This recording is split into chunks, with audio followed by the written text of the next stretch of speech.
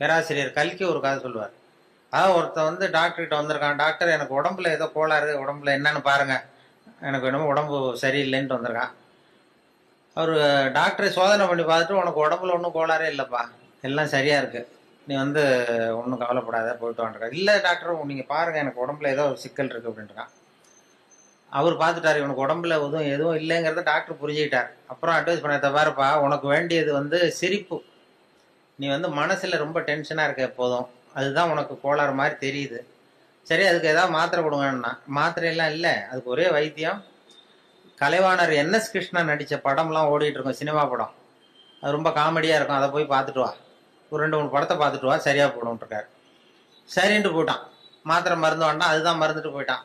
போயிட்டு ஒரு நாலு நாள் கழிச்சு வந்தான் அதே டாக்டர்கிட்ட டாக்டர் நீங்கள் சொன்னது மாதிரியே என்எஸ் கிருஷ்ணன் நடித்த படம்லாம் பார்த்தேன். அப்படியும் எனக்கு உடம்பு சரியாகலை.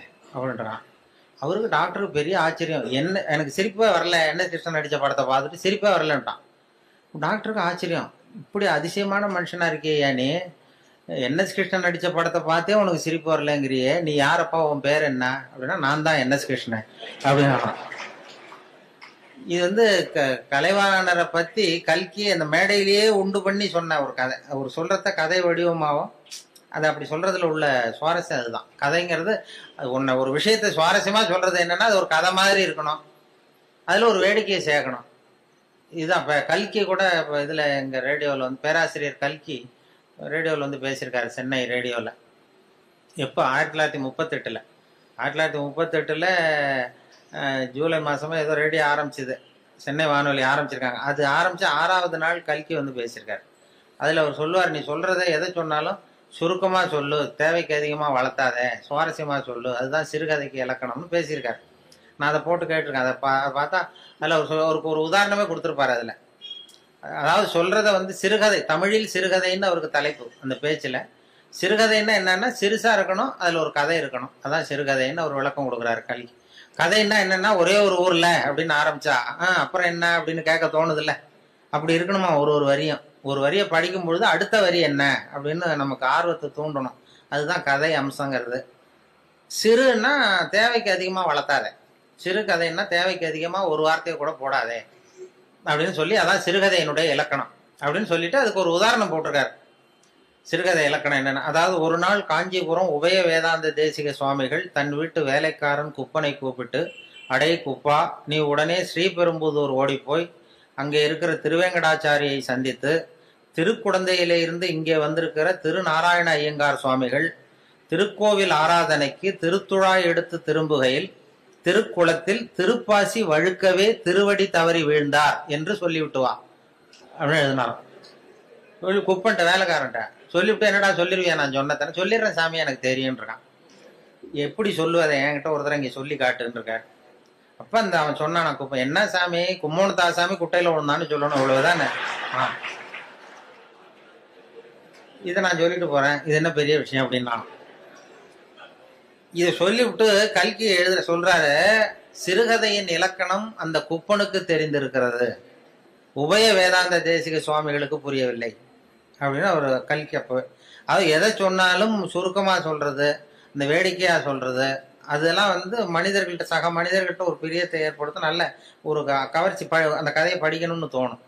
அப்படிதான் அதனால தான் அந்த விஷயங்களை சேர்த்து சேர்த்து வானொலியிலையும் தொலைக்காட்சியிலும் நாங்கள் உபயோகப்படுத்துறோம். வானொலியிலேயே ரொம்ப தொலைக்காட்சியிலேயே கூட நிறைய சுவாரஸ்யமான அனுபவம் நம்ம வாழ்க்கையிலேயே நடக்கும் நிறையா. வாழ்க்கையிலேயே கூட இப்போ நான் இது முதல்ல திருநெல்வேலியில் தான் ரேடியோவில் சேர்ந்தேன். திருநெல்வேலி ரேடியோவில் அப்போ முத முத போய் என்னை பேட்டி எடுக்கிறதுக்கு மைக்கெல்லாம் கொடுத்து எங்கள் டைரக்டர் ஒருத்தர் அனுப்புனார். யாருக்கிட்டன்னா அந்த டனால் தங்கவேலுன்னு ஒரு நடிகர் இருந்தார். கே ஏ தங்கவேலுன்னு ஒரு பிரபலமான நகைச்சுவை நடிகர். அவர் இதுக்கு ஒரு பொருள் காட்சியில் நாடகம் நடத்துறதுக்காக வந்திருக்கார் திருநெல்வேலிக்கு அங்கே வந்து ஒரு ஹோட்டலில் தங்கியிருக்கார். அப்போ நான் அப்போ தான் புதுசாக போய் வேலையில் சேர்றேன் ரேடியோவில் எங்கள் டைரக்டர் கூப்பிட்டு இது மாதிரி தங்கவேலுங்கிற நடிகர் வந்திருக்கிறாரு. அவரை போய் இன்டர்வியூ பண்ணிட்டு வா பேட்டி எடுத்துட்டு வா அப்படின்னாரு. சார் எனக்கு பழக்கம் இல்லை. கொஞ்சம் பழக்கம் ஆனதுக்கப்புறம் போகிறேன் இப்போ வேறு யாரையாவது அனுப்புங்கன்னு இல்லை இல்லை அப்புறம் எப்போ தான் கற்றுக்கிறது நீ போய் கற்றுட்டு வா அப்படின்னு சொல்லி உடனே மைக்கு எல்லாத்தையும் கொடுத்து அனுப்பிச்சிட்டார் கூட. அங்கே போனோம் போய் ரூமில் கேட்டது வா தம்பி வாழ்க்கை வாழ்க்கை வா வந்து உட்காருங்க என்ன செய்யணும்? அப்படி அப்படின்னார் அவர் ரொம்ப ஊக்கமாக பேசினார் இந்த பயமுறுத்தல. என்ன வேணும் அப்படின்னா ஒன்றும் இல்லை கேள்வி கேட்குறேன் பதில் சொல்லணும் கேளுங்க என்ன வேணாலும் கேளு நான் சொல்கிறேன் அப்படின்னார். அப்போ நான் வழக்கமாக சும்மா சில குறிச்சிட்டு போனேன். முதல் தடவை பேட்டி இல்லை அதனால எனக்கு பயம். குறிச்சிட்டு முதல் கேள்வி. நீங்கள் முதல் தடவையாக மேடை ஏறினது எப்போ சார்?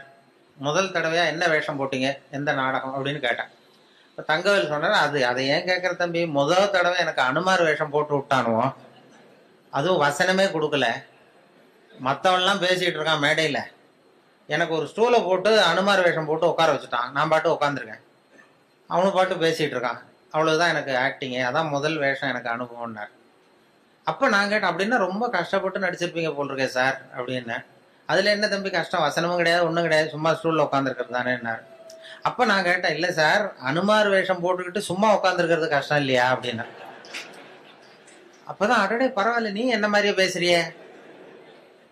பரவாயில்லையே நீ என்ன மாதிரி பேசுறேன்னு ஒரு உற்சாகம் கொடுத்தா அதுல ஒரு ஊக்கம் வந்துடுது. சரி பரவாயில்ல நம்மளும் வேடிக்கையா பேசலாம் போல் இருக்கு அப்படின்னு சொல்லி முதல் பேட்டியே அப்படிதான் அப்ப அதுல என்ன ஒரு யதார்த்த உண்மை என்னாச்சுன்னா அது வந்து ஒரு ஆயிரத்தி தொள்ளாயிரத்தி எழுபத்தேழுனா முப்பது முப்பத்தஞ்சு வருஷத்துக்கு முன்னாடி. எழுபத்தி ஏழில் நடந்தது இது அப்படின்னா இப்போ முப்பது வருஷம் ஆயிருக்கும். மு- அந்த முப்பது வருஷத்துக்கு முன்னாடி அவர் சொன்னது என்ன மாதிரியே பேசுறியே? அடடே அப்படின்னாரு. கடைசியில் என்ன ஆச்சுன்னா அவரை மாதிரியே பேச வேண்டிய ஒரு சந்தர்ப்பத்தை என்கிட்ட கொண்டாந்து கடைசியில் விட்டுது. அவர் செத்ததுக்கு அப்புறம். அவர் கடைசியாக ஒரு படத்தில் அவர் நடிச்சுட்டு செத்து விட்டார் அவர் இந்த வாய்ஸ் டப்பிங் பண்ணணும்ல அதுக்கப்புறம் வாய் அசைக்க தந்தாலும் பேசணும். அதுக்குள்ளே அவர் இறந்துட்டார். உடனே என்னை கூப்பிட்டு நீ அவருக்கு வாய்ஸ் கொடு டப்பிங் வாய்ஸ் கொடுன்னு அந்த சினிமாக்காரங்க கூப்பிட்டு போனாங்க. எனக்கு பழக்கமே இல்லை சார் சினிமா உலகம்லாம் அதெல்லாம் வேண்டாண்ணா இல்லை இல்லை அது உனக்கு தான் பொருத்தமாக இருக்கும் குரல்னு சொல்லி கொண்டு போய் அவர் வாய் அசைக்கிறத போட்டு போட்டு காட்டி அதே மாதிரி நீயும் பேசுன்னு சொல்லி பேச விட்டாங்க. முன் அனுபவம் இல்லாமே சினிமாவில் போய் டப்பிங் கொடுத்துட்டு அது என்ன? அப்போ நினச்சி பார்த்தேன் முப்பது வருஷத்துக்கு முன்னாடி என்ன மாதிரியே பேசுறியேன்னு சொன்னார் அவர். இப்போ அவரை மாதிரியே பேச வேண்டிய ஒரு சந்தர்ப்பத்தை காலம் கொண்டாந்து விட்டுட்டதேன்னு நினச்சோம். கடைசியாக அவர் அப்படி பண்ணார். ஆ? அது இந்த இது பெரிய மருதுன்னு ஒரு சினிமா படம். பெரிய மருது பெரிய மருதுன்னு ஒரு படத்தில் அவருக்கு அது மாதிரி பண்ணிட்டோம். அதே மாதிரி சினிமாவில் சம்மந்தம் எல்லாமே என்ன நடிக்க வச்சுட்டாங்க ஒரு படத்தில். கொண்டு போய் எதுவும் இல்லை. எனக்கு சிரிக்க தெரியாதுன்னீங்கல்ல அதுதான் அதில் ப்ளஸ் பாயிண்ட்டு என்னென்னா அவர் ஒரு நாள் தங்கர் பச்சான் இருக்கார்ல தங்கர் பச்சான். இவர் கேமராமேன். அவர் ஒரு நாள் திடீர்னு ஓடி வந்தார். ஆல் இண்டியா அண்ணே வாங்க ஒரு ஒரு படத்தில் நடிக்கணும் அப்படின்னாரு. ஐயோ எனக்கு நடிப்பெல்லாம் வராது சார். எனக்கு சிரிக்கவும் தெரியாது அழவும் தெரியாது. அதனால் என்னை விட்டுருவேன் இல்லை இல்லை. எனக்கு முகத்தில் உணர்ச்சியே காட்ட தெரியாதுன்னு. அவர் தங்கர் பச்சான் சொன்னார் நீ உணர்ச்சியே காட்ட தேவையில்லாத ஒரு வேஷத்துக்கு தான் கூப்பிட்றேன் உன்னை.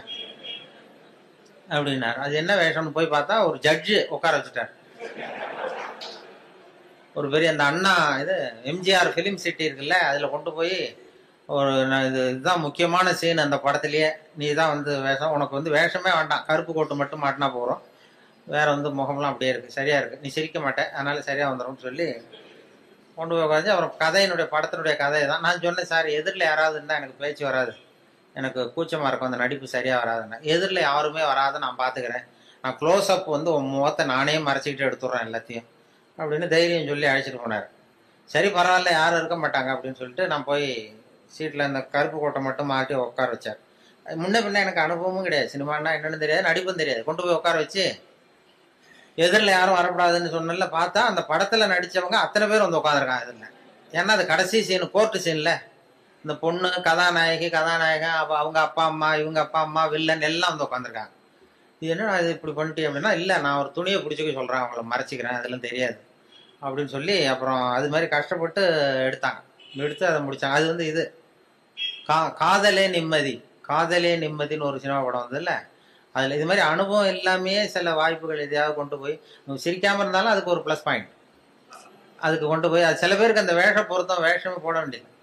ஒருத்தருக்கு பரிசளிப்பு விழா ஒரு சினிமா இதில் பரிசளிப்பு விழா நடந்ததான் அதில் யாருக்கு ஃபர்ஸ்ட் ப்ரைஸ்னா அனுமார் வேஷம் போட்டவருக்கு ஃபர்ஸ்ட் ப்ரைஸ் அந்த படத்தில் அனுமார் வேஷம் போட்டவரை மேடைக்கு ஏற்றி அவருக்கு முதல் பரிசு கொடுத்தாங்களாம். அவ்வளவு தத்ரூபமாக இருந்தது நடிப்பு வேஷ பொருத்தம்லான்னு சொல்லி. உடனே இவர் சொல்லியிருக்காரு வேஷத்தை அந்த வாங்கிக்கிட்டு அந்த அனுமார் வேஷம் போட்டவர் இந்த பரிசு வந்து எனக்கு சேர வேண்டியதில்லை. உண்மையிலேயே எனக்கு மேக்கப் போட்டார்ல அவருக்கு தான் இந்த பரிசு நியாயமாக கிடைக்கணும். அவ்வளோ தத்ரூபமாக போட்டிருக்காரு. அதனால் இந்த பரிசுக்கு உரியவர் எனக்கு மேக்கப் போட்டவர் மேக்கப் மேன் அவருக்கு இதை நான் சமர்ப்பிக்கிறேன் அப்படின்னு சொல்லி மேக்கப் மேனை கூப்பிட்டு அவர் கையில் கொடுத்துட்டார் பரிசு. கொடுத்துட்டு ஒரு பெருந்தன்மையாக வந்து உட்காந்துட்டார் அப்புறம் அந்த மேக்கப் போட்டவர் வந்து பேசினாராம். அவர் பெருந்தன்மையாக வந்து எனக்கு அந்த அவருக்கு கிடைச்ச பரிசை என்கிட்ட கொடுத்துட்டார். இது உண்மையிலேயே இந்த பரிசு அவருக்கு தான் உரியது. எனக்கு கொடுக்க வேண்டியதில்லை. ஏன்னு கேட்டிங்கன்னா நான் நிஜமாவே அவருக்கு மேக்கப்பே போடலை. சும்மா ஒரு வாழை மட்டும் ஒட்ட வச்சேன். ஒரு வாழை ஒட்ட வச்சதுக்கு இவ்வளவு பெரிய பரிசான்னு நான் அப்படி சில பேருக்கு மேக்கப் தேவைப்படாது. இப்போ எனக்கு அந்த படத்துல அதான் மேக்கப்பே போடல. சும்மா ஒரு கருப்பு கொட்டை மாட்டி உட்கார வச்சு பேச விட்டாங்க.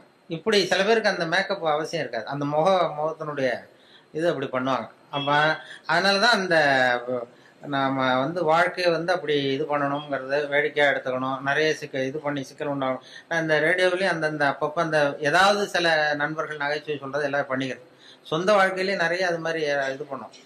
இப்போ மெட்ராஸில் நான் வந்து இது மாதிரி ஆன்மீக விஷயமா சொல்லிகிட்டு இருந்ததும் ஒரு அப்போல்லாம் டிவிக்கு வரல. வானொலியில் மட்டுமே பதினாலு வருஷமா அந்த ஒரு தகவல்னு சொல்லிட்டு இருந்தோம். அப்போ எனக்கு என்ன முகம் தெரியாது யாருக்கும். ஆனால் குரலை கண்டுபிடிச்சிருவாங்க. முகம் தெரியாது. அப்போ என்னென்னா வெளியில் யாருன்னு தெரியாது. ஆனால் இன்று ஒரு தகவல் யாரோ பெரிய ஆன்மீக விஷயம் அதெல்லாம் சொல்லிட்டு இருக்காருன்னதும் வெளியில் வந்து ஒரு இமேஜ் வேறு மாதிரி இருந்தது. ஒரு ஒரு ஆட்டோ டிரைவர் அடையாறுலேருந்து அடையாறுலேருந்து என்ன ஆட்டோவுக்கு ஆட்டோவில் போய் ஏறி உட்காந்தேன் எங்கே சார் போகணுன்னாரு இது மாதிரி போங்க அப்படின்ட்டு ஏறி உட்காந்து போயிட்டுருக்கேன். அந்த மயிலாப்பூர் பக்கம் போங்கன்னு. அவருக்கு என்ன ஒரு சந்தேகம்னா இவன்கிட்ட பேச்சு கொடுத்துட்டே வராரு. இவரை எங்கேயோ இவர் குரலை கேட்டது மாதிரி இருக்கே அப்படின்னு அவர் ரேடியோவில் கேட்டிருக்காரு. அதை உ- உறுதிப்படுத்திக்கிறதுக்கு அப்போல்லாம் டிவியில் வரலன்னா உறுதிப்படுத்திக்கிறதா என்கிட்ட பேசிக்கிட்டே இருக்காரு. சார் இன்னைக்கு பேப்பர் பார்த்தீங்களா அது இதுன்னா நானும் பேசிகிட்டே இருக்கேன். அவர் மனசுக்குள்ள ஒரு சந்தேகம் கேட்கறதுக்கு ஒரு தயக்கம். வந்து மயிலாப்பூர் வந்து எங்க நிறுத்தணும் வண்டியேன்னாரு ஆட்டோ ஆல் இண்டியா ரேடியோ வாசல்ல நிறுத்தினேன் அவர் புரிஞ்சுக்கிட்டார் ஆஹா இவர் தான் நம்ம தேடின ஆள். அப்படின்னு ஆல் இண்டியா ரேடியோ கேட்டுக்கிட்ட கொண்டு போய் நிறுத்தி இறங்கினதும் நான் காசை கொடுத்துட்டு உள்ள போனேன். உள்ள போறப்ப சார் ஒரு நிமிஷம் நில்லுங்கன்னார். என்ன பண்ண இந்த ரேடியோவில் ஒருத்தர் இன்று ஒரு தகவல்னு சொல்லிட்டு இருக்காரு அது நீ தானா? அப்படின்னா. ஆமாம் நான் தான் அப்படின்னதும் அப்படியே அதிர்ச்சி ஆனது மாதிரி பார்த்தாரு என்ன. பார்த்துட்டு என்ன சார் பேண்ட்லாம் போட்டிருக்கீங்க? அப்படின்னாரு. என்னப்பா இது இல்லை இல்லை சார் நான் தாடிலாம் வச்சுக்கிட்டு இருப்பீங்கன்னு நினச்சேன். தாடி வச்சுக்கிட்டு ஒரு காவி வேஸ்ட்டு கட்டிக்கிட்டு இருப்பீங்கன்னு நினச்சேன். ஆனால் அது மாதிரி அந்த மோத்தை பார்க்காதப்ப அந்த அப்படி ஒரு இமேஜை உண்டு பண்ணும். ஒரு அம்மா ஒரு நாள் ஒரு த பொண்ணை கூப்பிட்டுட்டு என்கிட்ட ஆசீர்வாதம் வாங்க வந்துருக்கு. ஆல் இண்டியா வந்து வேலூர் பக்கத்துலேருந்து ஒரு நாள் சாயந்தரம் அஞ்சு மணிக்கு என் கூட வேலை பார்க்குறவங்களாம் ஏ இதில் வந்து கேசினோவில் ஒரு அருமையான இங்கிலீஷ் படம் போட்டிருக்கான் வா போய் பார்ப்போம்னு எனக்கு கூப்பிட்டுட்டு இருக்கிறாங்க நண்பர்கள். அலுவலகத்தில் வேலை பார்க்குறோம் சரின்னு புறப்பட்டுட்டு இருக்கேன் சினிமாவுக்கு. அப்போ யாரோ ஒரு அம்மா வந்திருக்குது உன்னை தேடின்னு ரிசப்ஷன்லேருந்து சொல்கிறாங்க யார் இந்த நேரத்தில்னா ஏதோ வேலூர் பக்கத்துலேருந்து வந்திருக்கிறாங்க ரெண்டு பேர். அப்புறம் வர சொல்லு அப்படின்னு பார்த்தா வந்ததும் சார் இந்த இன்று ஒரு தகவல் சொல்கிறது யார்? நான் தான் அப்படின்னேன். உங்களை தான் சார் பார்க்க வந்தோம் அப்படின்னா என்னம்மா பண்ணணும் அப்படின்னா என் பொண்ணுக்கு ஆசீர்வாதம் பண்ணணும் சார். வந்து நாங்கள் சினிமாவுக்கு புறப்பட்டுருக்கோம் இங்கிலீஷ் படத்தில் நீங்கள் என்னம்மா தப்பாக நினச்சிட்டு வந்துட்டீங்கன்னு நினைக்கிறேன். இல்லை சார் உங்ககிட்ட தான் ஆசீர்வாதம் ஆகணுன்னு இல்லைம்மா நான் வந்து சொந்தமாக எதுவும் சொல்லலை. பெரியவங்க சொல்கிற கருத்தை வந்து ரேடியோவில் சொல்லிகிட்டு இருக்கேன். அதனால் என்னையே பெரிய மகானாக நினச்சிக்கிட்டு நீங்கள் வந்துட்டீங்க. அதனால் நீங்கள் நினச்சது தப்பு அப்படின்னேன் இல்லை சார் உங்களை பற்றி உங்களுக்கு தெரியாது சார் எங்களுக்கு தான் தெரியும். இப்போ என்ன பண்ணணும்னு விபூதி பூசி விடுங்க சார். என் பொண்ணுக்கு சீக்கிரம் கல்யாணம் ஆகணும். என் பொண்ணுக்கு சீக்கிரம் கல்யாணம் ஆகணும். விபூதி பூசி விடுங்க சார். அப்படின்னு விபூதி நானே பூசலியம்மா எங்கேருந்து கொண்டு வரணும்னா. நானே கொண்டு வந்திருக்கேன் சார் கையோடங்களுக்கு உடனே சரின்னு அது ஒத்துன்னு காலில் விழுந்தது. உடனே அவங்ககிட்ட விபூதி வாங்கி பூசிட்டு உனக்கு சீக்கிரம் கல்யாணம் ஆகிடும் போயிட்டு வாமா அப்படின்னு அனுப்பிச்சிட்டேன். அனுப்பிச்சது என் கூட இருக்கிற பசங்கள்லாம் இருக்கிறாங்கல்ல ரேடியோவில் வேலை பார்க்குறான். அவன்லாம் என்ன ரொம்ப விஷமத்தனமாக பார்க்குறான். நான் நாங்கள்லாம் பத்து வருஷம் பதினஞ்சு வருஷமாக ரேடியோவில் வேலை பார்க்குறோம். நீ வந்து அஞ்சு வருஷம் தான் ஆச்சு. அதுக்குள்ளே வந்து ஆசீர்வாதம் பண்ண ஆரம்பிச்சிட்டியே. அப்படின்னு இது பண்ணா இருக்கட்டப்பா அப்படின்னு அவரும் போயிட்டோம். அப்புறம் பார்த்தா ஒரு ஒரு ரெண்டு மாசம் கழிச்சு அந்த அம்மா வந்தது. வந்து சார் உங்க ஆசீர்வாதத்தினால கல்யாணம் நிச்சயம் நிச்சயமாயிட்டுது சார். அப்படின்னுது. ஆஹா நமக்கு ஏதோ பெரிய அருள் இருக்குன்னு நான் உடனே முடிவு பண்ணிட்டேன். முடிவு பண்ணிட்டு சரி ஏதோ விஷயம் இருக்கு. நம்ம ரிட்டையர் ஆனதுக்கு அப்புறம் ஒரு ஆசிரமம் ஒன்று போட்டுடலாம் அப்படின்னு சொல்லி. அப்படின்னா அப்ப கூட சினிமாவுக்கு வந்தவன் அப்படி ஒரு ஐடியா இருந்தா என்ன சிஷ்யனா சேர்த்துக்கிடாங்க அவன். இப்படி பண்ணிட்டு அப்போ அந்த மாத்திரபூதம்னு ஒரு டாக்டர் இருக்கார்ல அவர் வந்தார். அவருக்கு இப்போ இல்லை. அந்த மாத்திரபூதம் இந்த டிவிலாம் வருவார். அவர் ரேடியோவுக்கு அடிக்கடி வருவார். நான் அவர்கிட்ட கேட்டேன் சார் இது மாதிரி அவர் மனோதத்துவ டாக்டர். நான் ஒரு பொண்ணுக்கு வந்து விபூதி பூசி விட்டேன் சார். அதுக்கு வந்து கல்யாணம் நிச்சயம் ஆயிட்டுது. நான் ஆசீர்வாதம் பண்ணி ஒரு மாதத்துலேயே கல்யாணம் நிச்சயம் ஆகிட்டது அப்படின்னா எனக்கு ஏதாவது அருள் இருக்கா? அப்படின்னு கேட்டேன் அவர்கிட்ட. சைக்காலஜியில் என்ன சொல்கிறீங்க அப்படின்னு. அவர் வேடிக்கையாக சொன்னார் இந்த பார் கல்யாணம் ஆகிற வரைக்கும் உள்ள பிரச்சனையெல்லாம் நீ பார்த்துக்கோ அதுக்கப்புறம் ஏதாவது பிரச்சனை இருந்தால் என்கிட்ட சொல்லு அப்படின்னா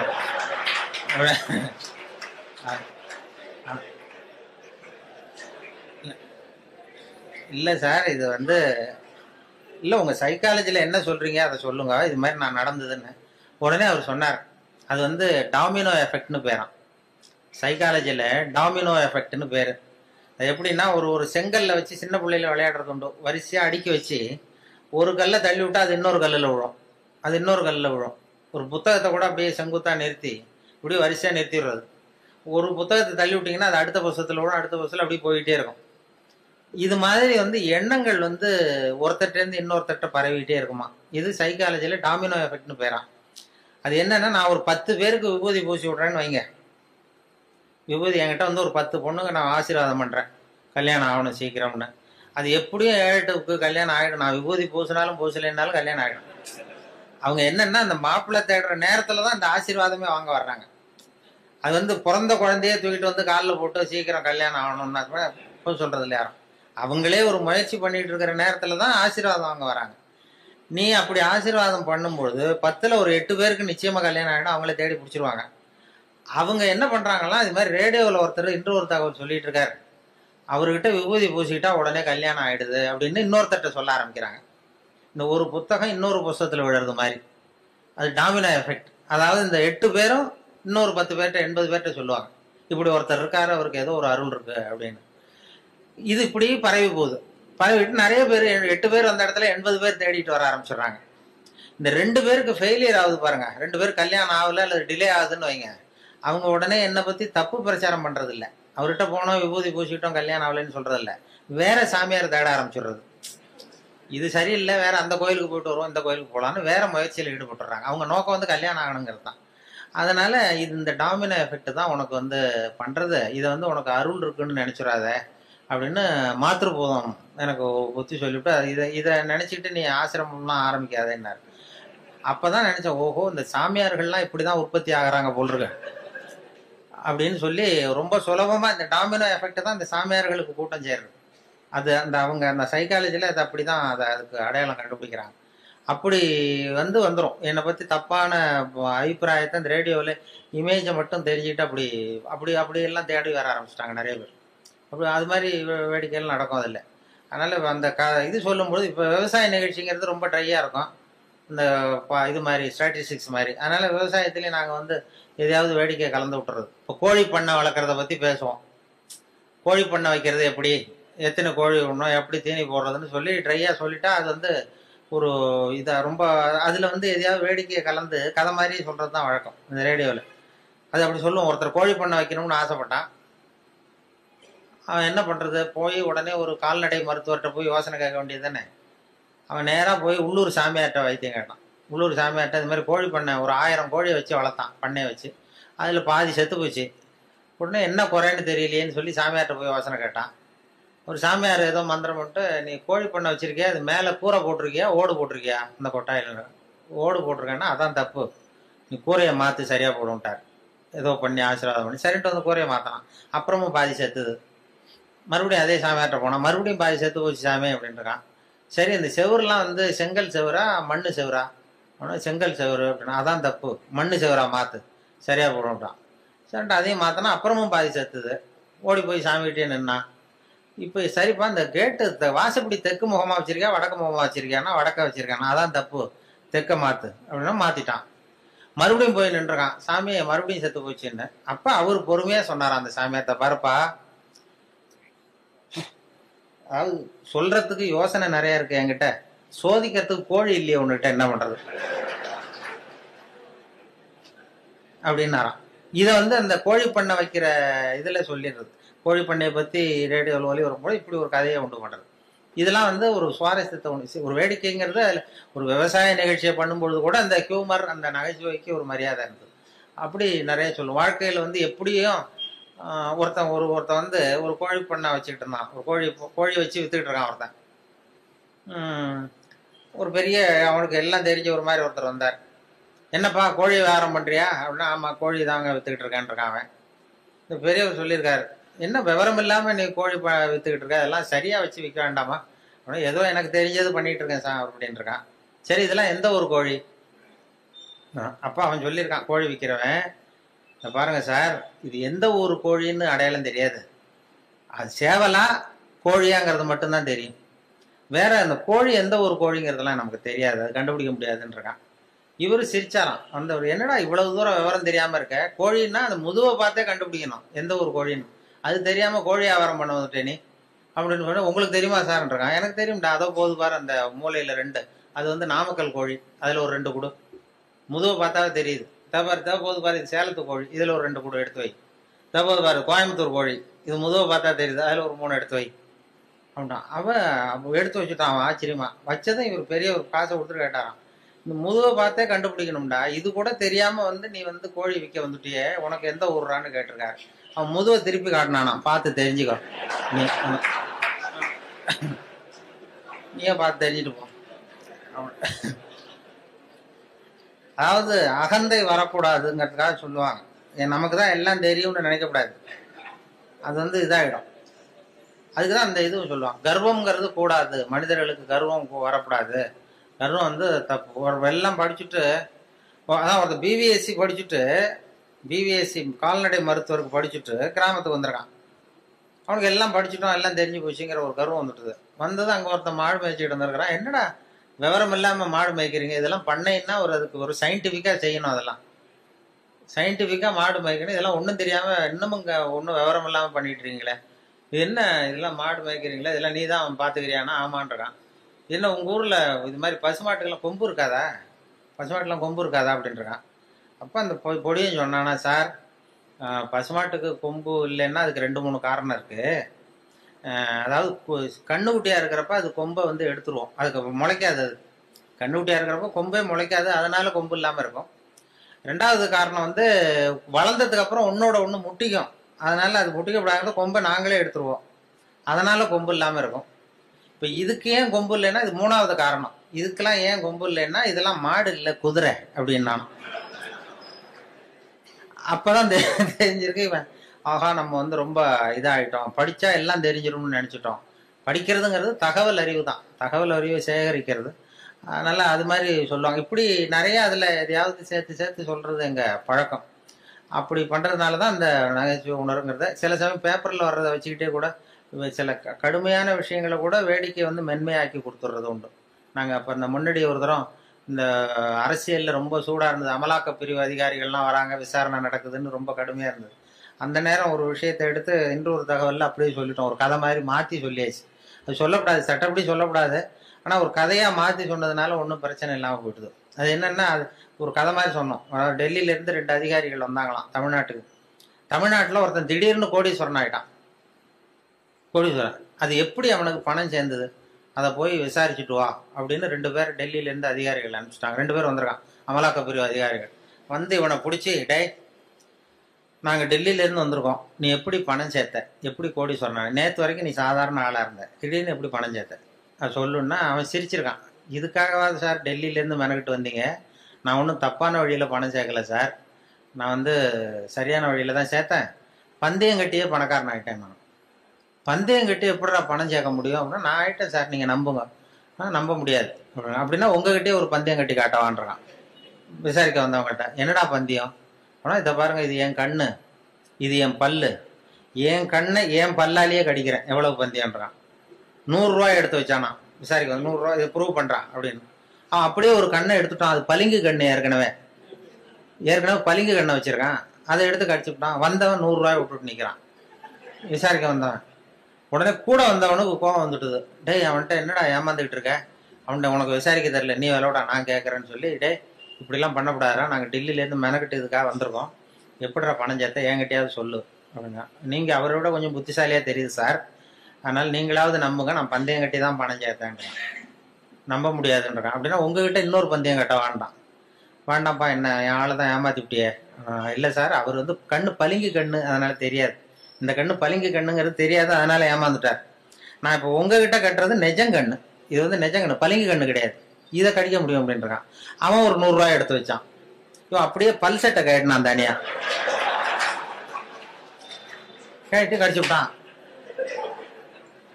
அதையும் விட்டுட்டு ரெண்டு பேரும் அப்படியே அலண்டு போயிட்டாங்க விசாரிக்க வந்தவன். வந்து நீ மேற்கொண்டு அவன்கிட்ட பேச பேச நம்ம பணம் தான் போய்கிட்டு இருக்கு அவன்கிட்ட. நாம வந்து அவன் பணம் எப்படி சேர்த்தான்னு கண்டுபிடிக்கிறதுக்கு வந்திருக்கோம். நாம வந்து அவனை இன்னும் கோடீஸ்வரன் ஆக்கிட்டு இருக்கோம். இதுக்காகவா மெனக்கிட்டு டெல்லியில இருந்து நம்மளை அனுப்புனாங்க? இது சரியா வராதுடா இனிமே அவன்கிட்ட பேச்சு கொடுக்காத. ஒதுங்கி வந்து டெல்லிக்கு போறதுக்கு டிக்கெட்டுக்கு பணம் இருக்கா பாடுறா அப்படின்றான். எண்ணி பார்த்து சரியா இருக்கு கரெக்டா இருக்கு.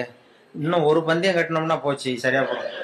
அதனால இப்போ இருக்கிறது சரியா இருக்குன்றான். அப்படின்னா அவன்கிட்ட மேற்கொண்டு விசாரிக்காத. நம்ம போய் நம்ம தலைவர்கிட்ட சொல்லிடுவோம் டெல்லிக்குன்னு நாங்கள் போயிட்டு வரோம் சார். ரொம்ப தேங்க்ஸ் நீங்கள் அப்படியே இருங்க சார். சௌக்கியமாக இருங்கன்னு சொல்லிட்டு ஏன் சார் கொஞ்சம் இருந்து சாப்பிட்டு போங்களேன்றாங்க அதெல்லாம் வேணாம் சார். நீங்கள் மறுபடியும் ஏதாவது பேச்சு வரும். மறுபடியும் பந்தயம் கட்டுவீங்க. நாங்கள் போயிட்டு வரோம். நாங்கள் பார்த்துக்குறோம் சார். நீங்கள் போயிட்டு வாங்கன்னு ரொம்ப மரியாதையாக அவனை விட்டுட்டு போயிட்டாங்க. ரெண்டு பேரும் போய் டெல்லியில் இந்தியாவுக்கே தலைமை அதிகாரி. இந்தியாவுக்கே தலைமை அதிகாரி. அவர்கிட்ட போய் சொல்லிட்டான். சார் அவன் தமிழ்நாட்டுக்கு போனோம். தமிழ்நாட்டில் போய் அவன் எப்படி பணம் சேர்த்தானா பந்தயம் கட்டியே பணம் சேர்த்தேன்னு சாதிக்கிறான் சார். அது மட்டும் இல்லை எங்ககிட்ட ஒரு இரநூறுவாய் பிடிங்கிட்டு விட்டான் சார். ஆனால் அவருக்கு கோவம் வந்துட்டு தான் எத்தனை பேரா இருக்கீங்க? இந்த இந்தியாவெல்லாம் நீங்கள்லாம் ஒரு பெரிய அதிகாரியா? ஜூனியர் ஆஃபீஸர்ஸ் எத்தனை பேர் இருக்கீங்க? இந்தியா பூரா விசாரிக்கிறதுக்கு. நம்ம ஆஃபீஸ்லன்னா முப்பது பேர் இருக்கோம் சார். ஆனால் முப்பது பேரையும் இங்கே கூப்பிட உங்களுக்கு ட்ரைனிங் கொடுக்கணும். உங்களுக்கு அனுபவம் பத்தாது. நான் இந்தியாவுக்கே தலைமை அதிகாரி அனுபவம் ஜாஸ்தி. உன்ன மாதிரி இருக்கிற முப்பது பேர் இங்கே கூப்பிட்டு ஹாலில் உட்கார வை ஜூனியர் ஆஃபீஸர்ஸ் நான் வந்து ட்ரைனிங் கொடுக்கணும். உங்களுக்கு பயிற்சி பத்தாது. ஒரு ஆள் போய் தமிழ்நாட்டில் அந்த ஆளை கூப்பிட்டு வாங்க இங்கே. அவனையே கூப்பிட்டு வாங்க. இந்த கோடீஸ்வரனை. வர்ற வரைக்கும் அவன்கிட்ட பேச்சு கொடுக்காதீங்க. இப்போ ஏதாவது வர்ற வழியிலே பந்தயம் கட்டுவான். ஏதாவது சைகையிலேயே கூப்பிட்டு வந்துருங்கன்னு ஒருத்தர் அனுப்பிச்சார். ஒருத்தன் வந்து மெதுவாக ரொம்ப சாமர்த்தியமாக அவன்கிட்ட எது கேட்டாலும் இல்லை சார் எல்லாம் அங்கே போய் பேசிக்கலாம் வாங்க. எதுக்கு சார் கூப்பிட்டு போகிறீங்கன்னா அதெல்லாம் அங்கே போய் பேசிக்கலாம் சார் நீங்கள் ஒன்றும் வாங்கன்னு மெதுவாக பேச்சு கொடுக்காம கொண்டு விட்டான் கொண்டு போய் டெல்லியில் இது மாதிரி மேடையில் நிறுத்தியாச்சு. நிறுத்தி அந்த பெரிய இந்தியாவுக்கே தலைமை அதிகாரி உட்காந்துருக்கார் இவன் இந்த முப்பது பேர் ஜூனியர் ஆஃபீஸர்ஸ் உட்காந்துருக்காங்க அவங்களுக்கு ட்ரைனிங் கொடுக்குறாரு அவர். இந்த பாருப்பா நான் வந்து இந்தியாவுக்கே தலைமை அதிகாரி. நான் நினச்சேன்னா உன் தண்டனையை குறைக்க முடியும். உனக்கு வந்து உன்னை அப்ரூவராக கூட மாற்றிடுவேன் அந்த அதிகாரம்லாம் என்கிட்ட இருக்குது அதனால் என்கிட்ட சொல்லிடு எப்படி பணம் சேர்த்தேன் அப்படிங்கிறார் சார் நீங்கள் வந்து இந்தியாவுக்கே தலைமை அதிகாரி. உங்களுக்கு அனுபவமும் ஜாஸ்திங்கிறத நான் புரிஞ்சுக்கிட்டேன். வயசும் ஜாஸ்தி. அதனால் நீங்களாவது நம்புங்க சார். நான் பந்தயம் கட்டி தான் பணம் சேர்த்தேன். அங்கேயும் ஏய் நம்ப முடியாதுடா அப்படின்னா அப்படின்னா உங்ககிட்ட ஒரு பந்தயம் கட்டிட்டோமான்றான். ஏய் நான் இந்தியாவுக்கே தலைமை அதிகாரா அப்படின்னா இருக்கட்டும் சார் நான் ப்ரூவ் பண்ண வேண்டாமா உங்களுக்கு? வேண்டாம் சார் அது எங்கள் அதிகாரியை தான் ஏமாத்தி விட்டியடா எங்கள் ரெண்டு பேரை. அப்படின்னா அப்பா அவர் சொன்னானா இவன் அது இல்லை சார் உங்கள் அதிகாரிகள் ஏமாந்தது என் உடம்ப பற்றின ரகசியம்? நான் வந்து பளிங்கு கண்ணு வச்சிருந்தேங்கிறது அவருக்கு தெரியாது ஏமாந்து போனார். நான் பல் செட்டு கட்டியிருந்தேங்கிறது தெரியாது அதனால இவர் ஏமாந்து போனார். இப்போ நான் உங்ககிட்ட பந்தயம் வைக்கிறது வந்து என் உடம்ப பற்றின ரகசியமே வேண்டாம். உங்கள் உடம்ப பற்றின ரகசியம். இவர் அசந்துட்டார். என் உடம்புல என்னடா ரகசியம்னார்? இப்போ ஒன்றும் இல்லை சார். முதுகில் இடுப்பு கிட்ட ஒரு ரூபா அகலத்துக்கு கருப்பாக ஒரு மச்சம் இருக்கு உங்களுக்கு. கருப்பாக ஒரு மச்சம் முதுகில் இடுப்பு கிட்ட இருக்கு. அப்படின்னா அவருக்கு இல்லைன்னு நல்லா தெரியும். ஆனால் சுத்தமாக இல்லைடா. சார் நேற்று வரைக்கும் இல்லை சார். இந்த நிமிஷம் இருக்கு. அப்படின்றான். அவர் அசந்து போய் ஒரு நூறுரூவா எடுத்து வச்சார். இதை ப்ரூவ் பண்ணுறான் இவனும் ஒரு நூறுரூவா எடுத்து வச்சுட்டு சட்டையை கேட்டுங்க சார். கேட்டு காட்டுறாரு. மச்சம் இல்லை. இவன் தோத்து போட்டான்.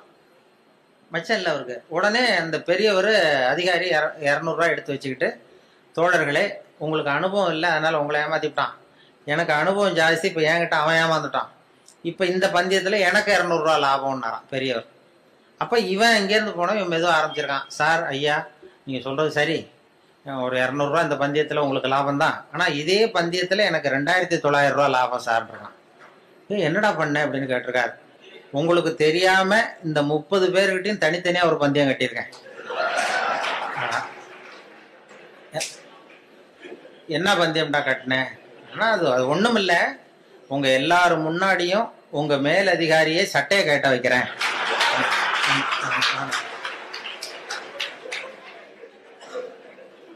அதனால் சரியாக போச்சு சார்.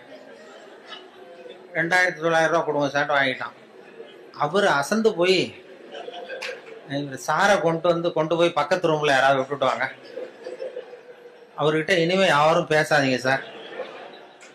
மரியாதையை அவரை நடத்துங்கன்னு சொல்லி கொண்டு உட்கார வச்சுட்டு அதுக்கப்புறம் பார்த்து தோழர்களே உங்களுக்கு நான் சொல்ல விரும்புறது என்னன்னா இனிமே யாரும் தமிழ்நாட்டு பக்கம் விசாரிக்க போகாதீங்க. நீங்க போனா மத்திய பிரதேசம் உத்தரப்பிரதேசம் அப்படி எங்கேயாவது போங்க. தமிழ்நாட்டுக்கு போகாதீங்க அப்படின்ட்டாரான் அப்புறம் இதை சொன்னேன் இதை வந்து பத்திரிகையில வந்து செய்தியை வச்சுக்கிட்டே இப்படி ஒரு கதையை உண்டு பண்ணி. இதை இது இராணுவத்தில் வேற மாதிரியான ஒரு ஜோக் அது அதை கொஞ்சம் மாதிரியாக மாற்றி ஒரு கதையை உண்டு பண்ணி இதை ரேடியோவில் சொல்லிட்டேன். சொன்னதும் என்னாச்சு அந்த ஒரு மந்திரிகிட்ட இருந்து ஒரு பிஏ வந்தார். அப்போ இருந்த மந்திரி அவங்க அவரு பிஏ என்ன பண்ணுவார்னா அந்த மந்திரி வந்து எப்போதும் இந்த இன்னொரு தகவல் கேட்டுட்டு உடனே அவர் பிஏ அனுப்புவார் என்கிட்ட அனுப்பி இன்னைக்கு இந்த இருபதாம் தேதி ஒன்று சொன்னார் அதனுடைய காப்பி ஒன்று வாங்கிட்டு வா. இந்த மேடையில் பேசுறதுக்கு எனக்கு வேணும் அப்படின்னு கேட்டு வழக்கமாக வாங்கிக்கிறது வழக்கம். இந்த இந்த மாதத்தில் தேதியை குறித்து அனுப்புவார். இந்த எட்டாம் தேதி ஒலிபரப்பானது பத்தாம் தேதி பன்னெண்டாம் தேதி. இதெல்லாம் வந்து ஸ்கிரிப்ட் வாங்கிட்டு வா. மேடை பேச்சுக்கு எனக்கு வேணும்னு கேட்பார் உடனே நாங்களும் அவர் அந்த பிஏ வந்தாருன்னா உடனே ஒரு செராக்ஸ் காப்பி எடுத்து அனுப்பிச்சிருவோம். இந்த கதையை சொன்னப்போ வந்துட்டார். இதை உடனே வாங்கிட்டு வான்னு அன்னைக்கு ஆள் வந்தது. உடனே நான் ஒரு காப்பி எடுத்து கொடுத்துட்டு அப்புறம் நாங்கள் மனசில் நினச்சிக்கிட்டோம். பாருங்க அவரே வந்து இதை வாங்கிட்டு போறாரு. சொல்லப்பட்டதே அவரை பற்றி தாங்கிறது தெரியாம. அப்படின்னு சொல்லி அதை வேடிக்கை ஆரம்பிச்சோம் இது இந்த விஷயத்த நீங்க வானொலியில ஒளிபரப்புறதுக்கு பெரிய சொல்லவே கூடாது. ஒரு தனி மனிதரையோ யாரையும் கே- கே- கேவலப்படுத்தக்கூடாது கிண்டல் பண்ணக்கூடாது. அது வானொலியில சொல்றதுக்கு அனுமதி கிடையாது. எங்களுக்கு மெமோ கொடுத்துருவாரு அதிகாரி. அப்படி ஏதாவது தப்பா ஒருத்தரை கேலி பண்ணோம்னா. ஆனா இதை வந்து ஒண்ணுமே பண்ண முடியல அவரால். இது யாரையும் குறிப்பிட்டு தனிப்பட்ட முறையில யாரையும் சொல்லல. அப்படிங்கிறதுனால இது எனக்கு ஒரு மெமோவும் கொடுக்கல என்ன திட்டமும் இல்லை அது தப்பு கண்டுபிடிக்கவும் இல்லை. அது காரணம் என்னன்னா அதுல உள்ள அந்த கதை அம்சமும் நகைச்சுவையும் தான். அந்த வேடிக்கையும் அந்த கதையும் சேர்ந்துட்டுதுன்னா ஒரு இடத்துல சொல்லக்கூடாத விஷயத்த கூட சொல்ல முடியுதுன்னு பாருங்களேன். அதுதான் அனுபவம். அது நகைச்சுவைக்கு உள்ள மரியாதை அப்படி நிறைய இதை சொல்லியிருக்கிறோம். சொல்லி அந்த எல்லா சப்ஜெக்ட்டுக்கும் ஒவ்வொரு கதையை உண்டு பண்ணுறது கோவப்படம் சினம் சினம் தவிர்த்தல் அப்படின்னு ஒன்று அப்புறம் இது சகிப்புத்தன்மை. இப்படி எல்லாத்துக்கும் ஒரு ஒரு கதையை உண்டு பண்ணி சொல்கிறது வழக்கம். சினம் தவிர்த்தல்னா அந்த இவங்க வேதாத்திரி மகரிஷி. அவங்க அது அதில் சினம் தவிர்த்தல்னு ஒரு பயிற்சியை கொடுப்பாங்க. அது அது மாதிரி என்ன இப்போ நான் இப்போ வேதாத்திரி மகரிஷியினுடைய தொண்ணூத்தஞ்சாவது பிறந்த நாள் கூப்பிட்டுருந்தாங்க. அந்த ஆழியாருக்கு போயிட்டு வந்தேன். போன ஒரு பத்து பதினஞ்சு நாள் முன்னாடி அப்போ எனக்கு ஒரு பதினஞ்சு வருஷத்துக்கு பத்து வருஷத்துக்கு முன்னாடியே ஒருத்தர் சென்னையில் ஒருத்தர் கூப்பிட்டார். சார் சினம் தவிர்த்தல்னு பயிற்சி நடத்துகிறோம் வாழ்க வளமுடன் அந்த வேதாத்திரி மகரிஷி. நீ வந்து கோவப்படாமல் இருக்கிறது எப்படின்னு பேசணும்னு என்னை கூப்பிட்டார். நான் சொன்னேன் நான் வந்து பயிற்சிக்கு வேணா வரேன். பேசுறதுக்கு வேண்டாம். எனக்கு பயிற்சி கொடுங்கன்னு. இல்லை சார் பயிற்சிலாம் நாங்கள் கொடுக்குறோம். நீ வந்து பேசிட்டு போ அப்படின்னாங்க. சரின்னு போய் நான் எனக்கு தெரிஞ்ச மாதிரி நான் ஒரு கதையை சொல்லிட்டு வந்துட்டேன். இது மாதிரி சினம் தவிர்த்தெல்லாம் எல்லாருக்கும் கோவம் வரும். ஒருத்தர் ஒரு மாதிரி பண்ணுவாங்கன்னு சொல்லி ஒரு கதையை உண்டு பண்ணி ஒரு மீனம்பாக்கம் ஏர்போர்ட்டில் ஒரு ஜப்பானுக்கு போக வேண்டிய பிரயாணி லக்கேஜோடு இருக்கார். இந்த லக்கேஜை வாங்கி பிளேனில் ஏற்றக்கூடிய தொழிலாளிகிட்ட அவர் அடிக்க போகிறாரு சண்டைக்கு போகிறாரு பெரிய மனுஷன். அவன் பதிலுக்கு முகம் சுளிக்கவே இல்லை. சிரிச்சுக்கிட்டே சரி சார் சரி சாருங்கிறான். இவர் அடிக்க போறாரு திட்டுறாரு கண்ணாமண்ணு பயிறாரு கோவப்படுறாரு. அவனுக்கு கோவமே வரல. இவர் லக்கேஜ் வாங்கி பிள்ளைங்கள தொழிலாளி. இவர் பாட்டு திட்டினாரு. அவன் சிரிச்சுக்கிட்டே சரி சரி சரின்னா. கடைசியில் லக்கேஜ் வாங்கிட்டு போயிட்டான். அப்புறம் பிளேன் வந்தது அப்புறம் பிளேன்ல ஏறி இவரும் போயிட்டார். இதை பார்த்துக்கிட்டே ஒரு பேராசிரியர் உட்காந்துருக்காரு சினம் தவிர்த்தல் பேராசிரியர். உடனே ஓடி போய் அந்த தொழிலாளியை கூப்பிட்டு வந்தார். இந்த பாருப்பா நாங்கெல்லாம் சினம் தவிர்த்தல்னு பயிற்சி முகாம்லாம் நடத்துகிறோம் கோவப்படப்படாதுன்னு உனக்கு கோவமே வரலையே நீ வந்து எங்களுக்கு வகுப்பு நடத்தலாம் போல இருக்க. அந்த பெரிய மனுஷன் அவ்வளவு திட்டுனா நீ வந்து பதிலுக்கு உன் முகம் சுளிக்கவே இல்லை சிரிச்சுக்கிட்டே இருந்தே அது எப்படி உனக்கு கோபமே வரலையான்னார். இப்போ அவன் சொன்னான் அப்படி இல்லை சார் மனுஷன்னு பிறந்தா கோவம் வரத்தான் செய்யும். அது அவங்கவுங்க அவங்கவுங்க பாணியில் அவங்கவுங்க டீல் பண்ணுவாங்க அவ்வளோதான் ஏ ஏய் உனக்கு கோவம் வந்தது? அவர் திட்டும் பொழுது அப்படின்னு ஆ வந்தது சார் எனக்கு கோவம் வந்தது. முகத்தில் தெரியலையே அப்படின்னா அது தெரியாது சார் அப்படின்றான் இப்போ எப்படி அதை சமாளிச்சா எப்படி டீல் பண்ணேன்னு கேட்டிருக்காரு. அது வேற ஒன்றும் இல்லை சார். அந்த அந்த பிரயாணி அவர் வந்து ஜப்பான் போயிட்டு இருக்காரு அவர் லக்கேஜ் எல்லாம் அமெரிக்கா போயிட்டு இருக்கு